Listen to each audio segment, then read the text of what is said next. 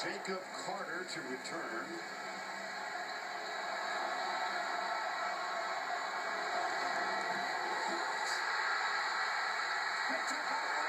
Tennessee. They will stroll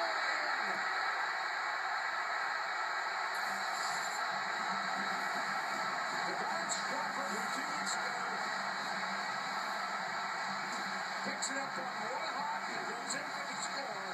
It was blocked by Jalen Reeves Maybin.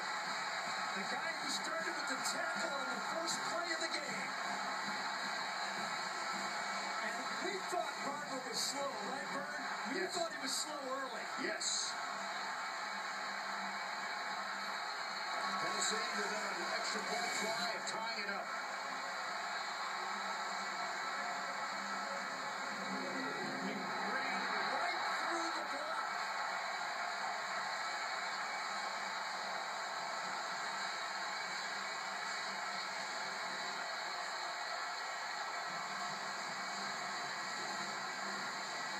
He's right here.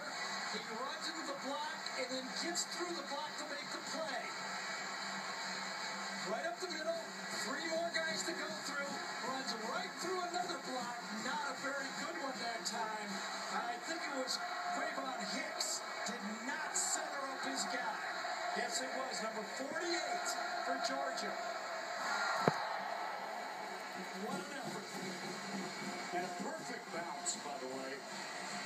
Couldn't have been dropped up, drawn up any prettier for Devaun Swafford to just stroll in on Gary another look.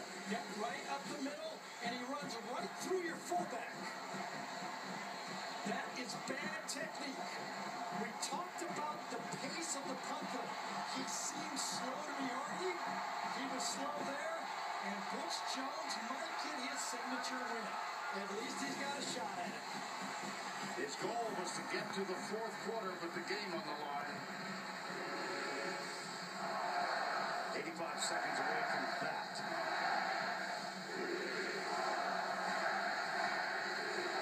I take a look at the special teams miscues, a box field goal snap against Clemson, fumbled snap South Carolina, two bad plays against North Texas, and now a punt block return for a touchdown. In that North Texas game, Barber's punt was blocked in